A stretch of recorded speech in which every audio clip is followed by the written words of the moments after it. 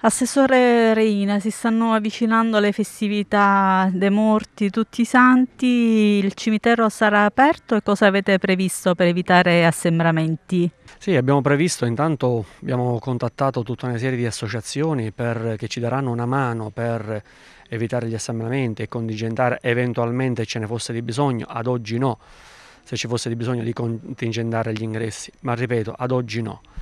E poi già abbiamo iniziato già da tempo per una sistemazione, una pulizia del, del cimitero.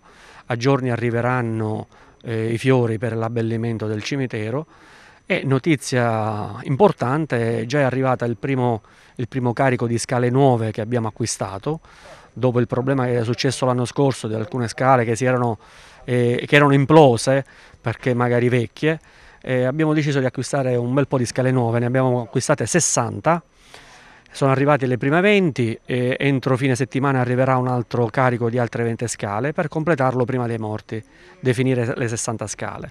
Sono in, in alluminio, molto molto leggere, perciò anche una persona anziana può avere facilità nell'utilizzo e nel trasportarla.